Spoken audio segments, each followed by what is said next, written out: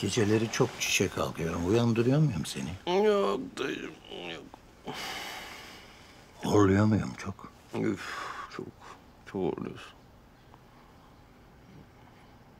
Evin tapusunu senin üstüne yapayım diyorum. Ne diyorsun?